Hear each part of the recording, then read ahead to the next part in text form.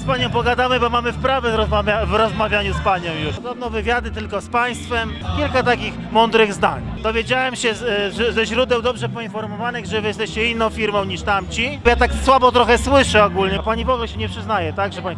Tamci nie, nie udzielą wywiadu mi? Nie. Ale śmiało. Aha, a tamci to sama śmietanka tu siedzi. Pan mi się rzucił w oczy. Naprawdę? A co to będzie za dwie godziny? Dlaczego wszyscy to samo mówią? Czas start. To jeszcze mamy dodał, bo mi skończyły się zasób pytań. No to pan powie. Będzie, będzie z tego całego dzisiejszego tutaj ambarasu film. No to dziękuję w takim razie. A kto to przygotowywał? Dobry, ja panią skądś znam właśnie, Koniewską. Poznaliśmy się już. Tak? Musimy niestety kończyć, bo jest tor. Ale wrócimy tu jeszcze. Tutaj właśnie to nam wiele wyjaśniło.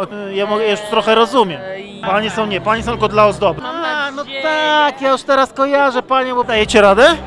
No dobra, to jeszcze raz. To się wytnie. To jeszcze tak, to jeszcze raz. To, że pan wytrwał, tak? Chciał pan tak powiedzieć. Czy- Dopiero teraz zajarzyłem. Już się nawiązała współpraca. A co mnie to obchodzi, co pani sądzi? To, co pani powie, to pani sądzi. No i świetnie, bardzo ładnie, dziękuję bardzo. No to proszę się przedstawić, ile pani ma lat?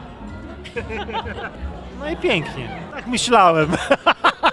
No, dużo wiedzą, tak? No dobra, jeszcze raz. A to pan wygrał tą, tą tak? Tak, to jest. O kurza melodia. Pięknie, Wy, wybrnęła pani pięknie. To ze mną, rozmawia pan ze mną. Bardzo było mi miło, że pan w ogóle nawiązał ze mną taki kontakt i starał się pan mnie uratować. Czyli NFZ nie jest taki straszny. Ale ja też tam wizytówkę mam. No bez sensu. Co się dzieje, możemy czegoś się dowiedzieć? No i dobra, okej, dzięki. Mężczyzna. No to nie bardzo mi to leży, no ale... To jest sprawa dyskusyjna. Juro Rutkowski. Nie, nie, takiej, nie takiej odpowiedzi się spodziewałem.